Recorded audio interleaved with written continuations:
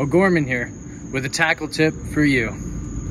Baitcast combo, 300 yards, 50 pound braid, slap full.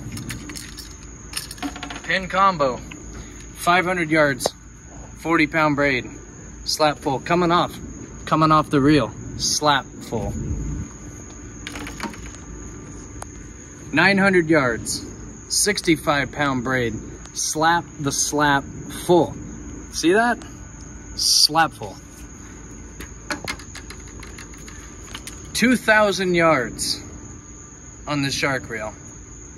Okay? Slap full. You can't even put more line on that. Nothing. Slap full. And then the big boy. 5,000 yards of 200 pound braid with some mono on top. Slap full, slap full. So you know what we do with these big combos? You wanna catch big fish and you wanna throw your plug, at least make it a plug worth throwing. You want a big fish? You throw big lures. That's the new Rapala Husky Jerk. We're gonna tie this baby on.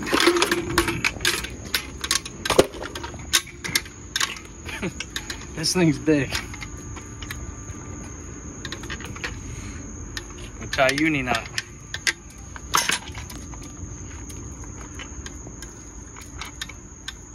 Bam. Cut my tag off. If you guys aren't throwing lures like this, I don't know what to tell you. The line on this reel costs more than your little nine to fiver. You can't even afford to put line on this thing. There's 5,000 yards on there. This lure, we're gonna need every bit of line before it bites this thing. You gotta run it. You guys gotta run it slap full.